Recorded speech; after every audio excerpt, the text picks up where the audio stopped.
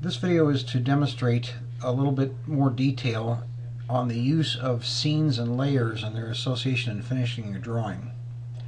If you look at this model, we have three different unique parts. We have a top, a crossbar, and an end. I have two ends, but I'm treating those as one part since it's just one design. We'll open up the entity information window. If I click on the end, you'll notice that that is on, I put that on layer A. This one is also on layer A. The crossbar is on layer B and the top is on layer C. So each individual part is on a separate layer.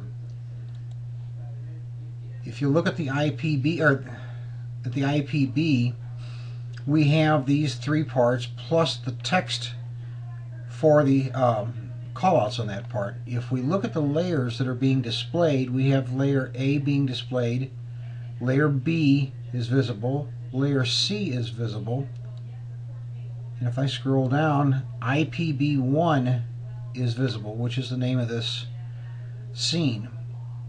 IPB1 is the layer that contains the text for this view. If you will notice, we view the assembly view, and layers A, B, and C are visible, but IPB1 is turned off. It is not visible. So by putting things in unique layers and controlling which layers are visible in which scenes, I can create multiple views. Again, we'll look at the assembly view, has just layers A, B, and C. If I go to the IPB view, I have A, B, and C, and the IPB view. If I go to layer A, or view A,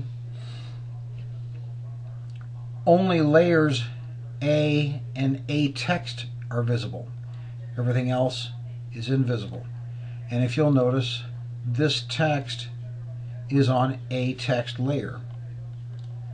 Likewise, if I go to scene B, only B and B text is visible.